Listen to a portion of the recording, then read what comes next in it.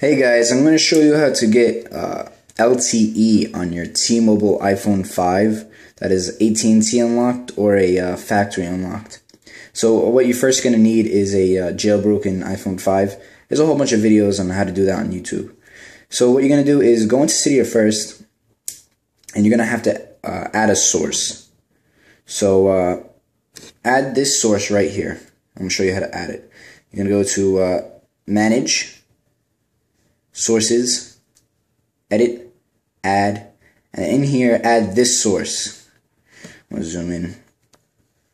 Add this source. It's gonna be in the description, so just copy it from there.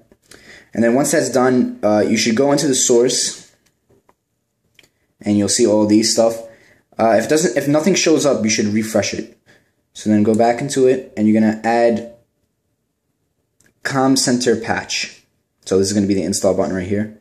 So install that. When that's done, uh, you should turn off the device. I'll do it right now. So uh, turn it off. I'll be back when it's done. Okay, so it's uh, booted up.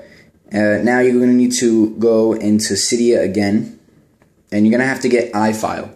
Now iFile is paid.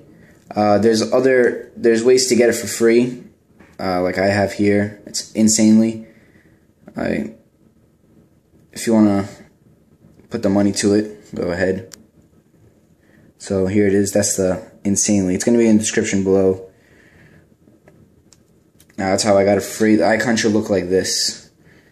iFile. So what you're going to do is uh, there's going to be a, uh, a link in the description that's going to bring you to here. Now, uh, it might say 0 kilobytes. If it does say that, just hit the refresh button. It'll go back to 6. Uh, so once it goes to 6, press in open in iFile, and then press Unarchiver. Now press Done. Now you're going to see all this right here. So now what you're going to do is you're going to edit, and you're going to hit these four. Not that, I'm sorry. Okay, so you're going to hit this clipboard icon right here. You hit cut Now you're going to press done. And you're going to press this little home icon right here. So click that. Now go into library. Now scroll down until you find this blue carrier bundle bundle. Okay. Now I suggest you uh, copy, you uh, back up your original carrier list. So do that. I strongly suggest it if you want to ever go back if there's any issues, okay? And you're gonna go to edit, and you're gonna click this, and you're gonna put paste. Now I already did this, so I'm not gonna do it now, but click paste.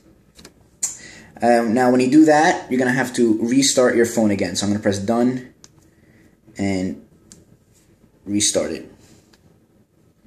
Sorry.